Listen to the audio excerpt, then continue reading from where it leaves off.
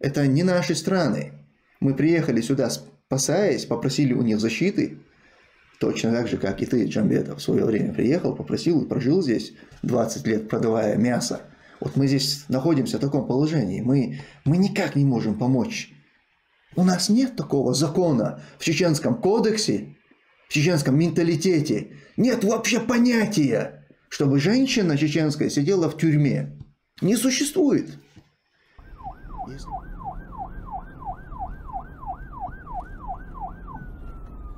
Нужно следить.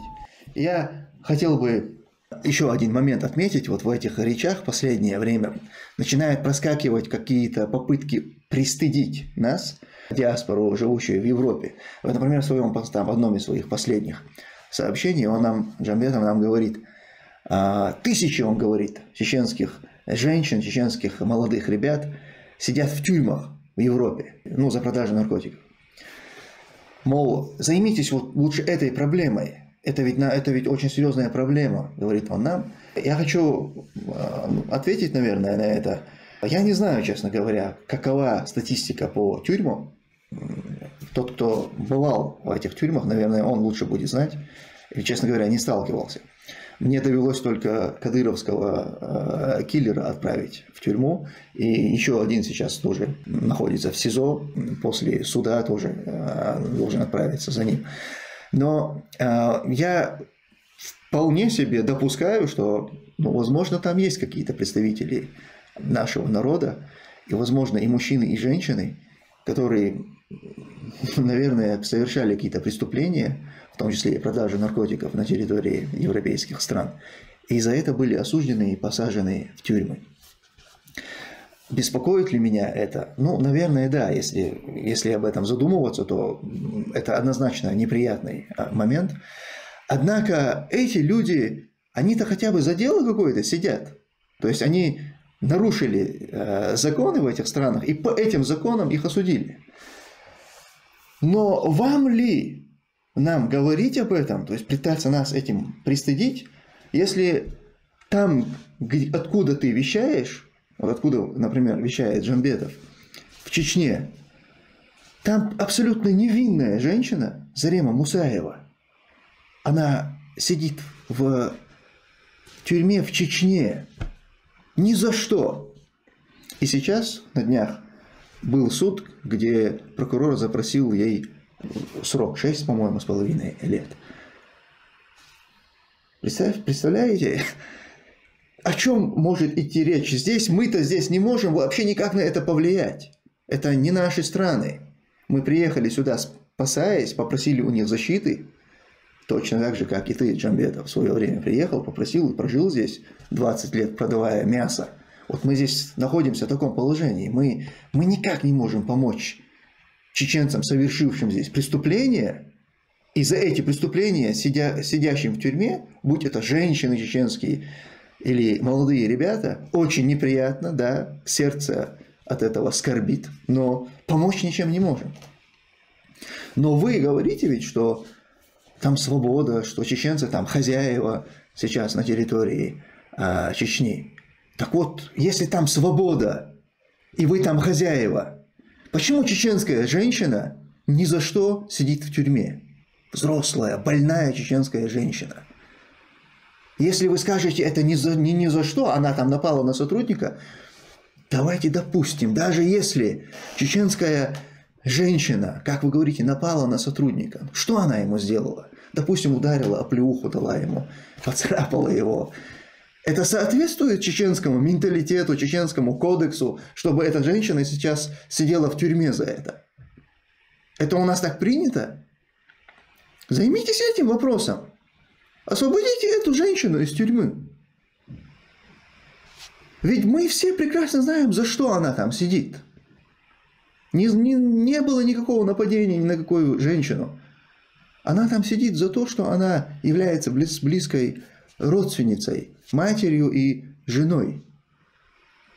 Какими бы плохими не были ее сыновья, ее муж, как бы вы их там ненави- не ненавидели, отрываться на этой чеченской женщине не является а не то, что там, я, я сейчас про религию вообще молчу, вот то, вот это вот нохчалла, вот эта чеченскость, которой вы постоянно козыряете, это не соответствует этой чеченскости. Чеченские женщины по чеченскому кодексу, чеченским понятиям вообще никогда ни за какие преступления в этом мире в тюрьме сидеть не должны. У нас нет такого закона в чеченском кодексе, в чеченском менталитете. Нет вообще понятия, чтобы женщина чеченская сидела в тюрьме. Не существует. Если вы хотите возразить, возразите. Предъявите мне хоть один пример, хоть одно преступление, которое может совершить чеченская женщина, и за это ее посадили бы в тюрьму. Мы ведь с вами прекрасно знаем, о чем мы говорим. У нас за, по, нашим, по нашему менталитету, по чеченским понятиям, по чеченским законам, по чеченскости, у нас мужчины несут ответственность за деяния женщин. Что бы эта женщина ни сделала, она никогда не сядет в тюрьму по чеченским понятиям. Мы с вами это прекрасно понимаем. Поэтому, чем нас присты... пытаться пристыдить из-за того, что здесь, возможно, в тюрьмах какие-то там действительно женщины сидят, и мы никак на это повлиять не можем. Я еще раз повторяю, даже если бы невиновную здесь посадили бы, максимум, что мы можем сделать, это по этим законам этих стран пытаться добиться освобождения таких людей. Что мы, собственно, и делаем, когда мы когда мы какую-то информацию получаем, что где-то в отношении кого-то происходит какая-то несправедливость, мы в соответствии с законами в этих странах пытаемся добиться для этих людей справедливости. В вопросах предоставления убежища, там, вопросах депортации, экстрадиции и так далее. Много таких примеров. С наркотиками, правда, не сталкивались, не приходилось. Но и не знаем, честно говоря, ни одного прецедента, чтобы кого-то здесь, в отношении кого-то было сфабриковано уголовное дело по наркотикам. Просто не, не слышал, не сталкивался. Но а, у вас-то есть, как если вы говорите, что вы хозяева в Чечне, что теперь чеченцы управляют Чечней, значит, у вас должны быть а, все механизмы для того, чтобы не допускать нарушающих чеченскость каких-то нюансов на нашей земле. Ну вот пресеките, и давайте с этого начнем. С Заремы Мусаевой давайте начнем, а потом заглянем в СИЗО в городе Грозном и посмотрим, есть ли там женщины среди сидящих. Для начала. Я уверен, что есть. Давайте посмотрим по ИВСам э, этих РОВД по республике. Посмотрим, есть ли там женщины. Я уверен, что есть.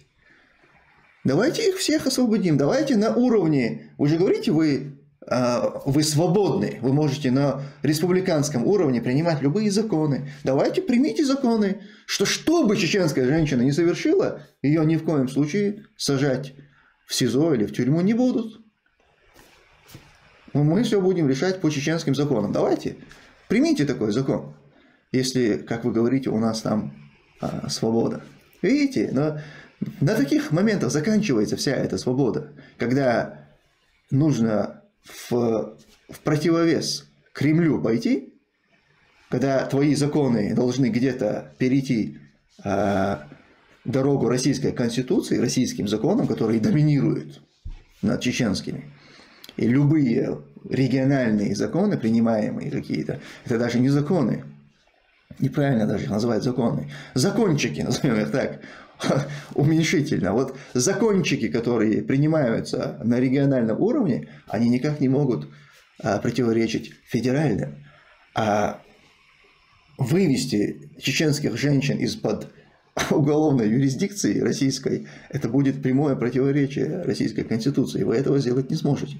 Поэтому будьте добры, раз вы в отношении себя а, все эти моменты дозволяете, вы даже дозволяете похищение чеченских женщин, чтобы воздействовать посредством этих женщин на их мужчин, то оставьте в покое живущих э, в Европе чеченцев и не пытайтесь нас присоединить тем, что мы не можем повлиять на, на а, то, что у нас в тюрьмах там сидят молодые ребята и, и возможно, чеченские женщины. Да, здесь за нарушение закона здесь не будут разбираться, ты женщина или мужчина, ты чеченская женщина или чеченский мужчина. Здесь плевать никто не хотел. Если ты нарушил закон, тебя будут судить. Но я вам скажу точно, чего здесь не сделают. Здесь ни за что, вот что бы ты ни совершил, тебя не посадят на бутылку, снимая это на камеру, и не опубликуют в каких-то около э, правительственных э, пабликах, сайтах там, и так далее. Не будет ничего подобного. На сайте полиции, на сайте э, парламента не, не, не европейского не, такого не опубликуют, такого человека не сделают. Здесь, здесь в принципе человека не будут а, избивать дубинками, а, заставляя его там что-то признать, подписать какие-то показания. Здесь не будут его бить током, ничего подобного происходить не будет. Да, какие-то, может быть, э, моменты нарушения а, со стороны представителей полиции, они, возможно, тоже будут происходить, но здесь есть инструмент борьбы с этим. А в Чечне-то ничего подобного нет. В Чечне тебя и на бутылку посадят, и сняв себя штаны заставят по дорожке бегать, и ты ничего с этим сделать не сможешь. Потом еще на самом высоком уровне а, глава региона проведет совещание, на котором скажет, да, все правильно сделали, снимать, правда, не надо было, но посадили на бутылку правильно. Так что, ребята, не чабы, как говорится, мычало, а, да не ваше. Вы ничего не можете предъявить, вы ничего не можете подобного нам говорить, вы не можете нас пытаться как-то пристыдить, когда у вас, э, у самих а, такие проблемы. Займитесь вот этими вопросами. И, и, кстати говоря, потом сразу можно и к вопросам молодых парней тоже перейти. Если, как вы говорите, свобода, а, маршо, то сколько таких вопросов, когда, ну, я имею в виду, сколько, например, в этом же СИЗО, в этом же Чернокозово сидят чеченских а, пацанов за нарушение российских законов. Не каких-то отдельных чеченских, российских. Попробуйте принять на уровне региональном закон, который бы а, декриминализовал какие-то действия о, в общей российской картине, вот то, что в России э, является преступлением, сделать это на уровне региона не преступлением. Попробуйте. И освободите всех этих ребят. Мы посмотрим, как вы это сделаете. Вообще, в целом, конечно, сейчас в связи с этой тенденцией э, вот этого задабривания, стирания границы, там, попытки всяческие а, задобрить, поменять риторику и так далее. В этом контексте они, возможно, даже, вы знаете, какие-то какие шаги будут предпринимать, а, попытки. Но слишком разгуляться им там не дадут. То есть вот такие вопросы, как изменение, допустим, законов, принятие на региональном уровне а, законов, противоречащих России, так разгуляться им никто не даст. Они будут пытаться вот такую пыль в глаза кидать, да, они, конечно, могут сказать, ну вот, смотрите, например, Джамбетова, они могут его привести в пример. Вот он, допустим, совершил преступление там, э, в, в российском уголовном праве. То есть он воевал за пределами, там, против, что-то там, по-моему, даже организ... Э, создание террористической ячейки, что-то такое ему там приписывают. И они могут сказать, вот он приехал и свободно живет, его никто не трогает. Вы, вы показываете пример того, как в соответствии с этими же действующими законами в России вы просто применяете амнистию в отношении предателей, тех, кто переходит на вашу сторону. Это не изменение закона. Вы измените закон на территории региона, примите закон, что человек, что, например, чеченцы, которые участвуют а, которые по, нарушают закон России, в соответствии с законами России являются преступниками, участвуют там в войне или создают террористические ячейки в соответствии с российским законодательством, на территории Чеченской Республики это преступлением не является. Такие люди на территории республики будут пользоваться иммунитетом, а, их попытка их задержания, там, привлечение к ответственности будет считаться а, вторжением там, и так далее. Попробуйте, примите. Понимаете разницу между тем, чтобы какого-то конкретного человека за совершенное преступление в рамках этого же российского закона амнистировать, причем прогнав его через Украину? Вы думаете, почему была, была вот эта гастроль в Украину, съемки там что-то, огонь. Вы помните, да, вначале он приехал, сначала там в Чечне э, потусовался, что-то позаписывал, потом Украина. Это, вот этот тот обряд нужно было выполнить как раз-таки для той самой амнистии. Все типа, поехал в Украину, повоевал за Россию, соответственно, заслуживаешь амнистии. Все вопросы к тебе снимаются. Поэтому это совершенно другая вещь. Они пытаются нас обмануть такой вот пылью в глаза, когда показывают такие вещи. Вот смотрите, я в розыске, а я спокойно приехал, меня никто не задерживает. Да, но борьба за свободу, которую вели с, со времен там, шейха Мансура, они же тоже часто любят этим апеллировать, говорить, вот вся та борьба, которую вели там шейх Мансур и остальные, э, борьба за свободу, это была та свобода, которую мы сейчас имеем. То есть они типа за эту свободу боролись. Так вот, ребята, э, я уверяю вас, они за эту свободу они боролись. Эта свобода у нас была всегда.